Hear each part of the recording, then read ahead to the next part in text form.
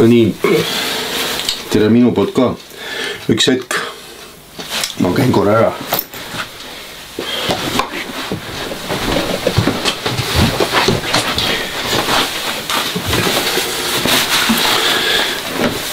meil on siin väike sihuke tänane koosviibimine kellas viiest alates, siis kell saab viis, nii et pärast sinna.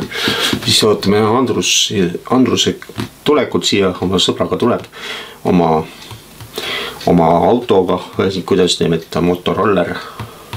niisugune nagu näeb auto moodi välja, te teate küll, mis, kuidas on. aga mul äh, siin on kohvi ja üks sihuke meene enne seda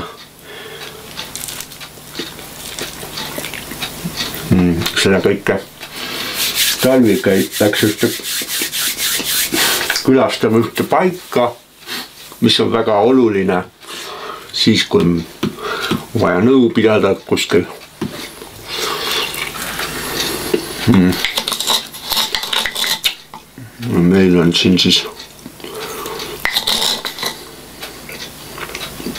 tänu sellele üllatusele, et Andrus meile siia tuleb külla, siis selline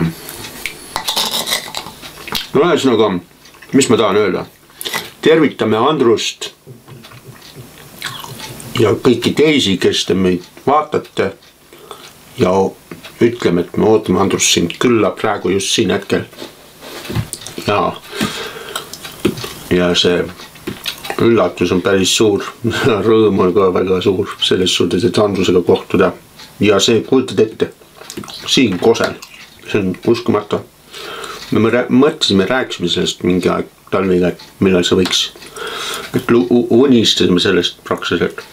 täna on see, saab teoks juba mm..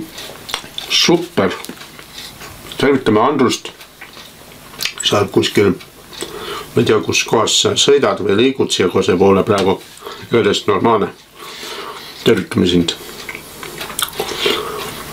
ja ja head kohalejõudmist muidugi sa vaatad seda internetist ja Facebookist igalt poolt tagantjärgi, aga noh, noh ikkagi, eks. tervitame sind. suur rõõm hmm.. mul on siuke tunne. ma saan ikka väikse kohvi endale ja no nüüd enne. kui kõik kohale jõuavad sinna. mul tuli ka natuke toimetamiskodus, pidin poes käima ennem ja ja siis äh, tulin, ootasin kodus ja laulsin siukest laulu nagu tuberkulotit Villeka rõhus, laulsin selle laulu peast, tegin oma sõna nagu, nagu selles mõttes tegin ringi, et ma nagu laulsin omamoodi seda oma versiooni Villeka rõhus. siis laulsin äh, tuberkulotit, oota, ma panen pausi ennem.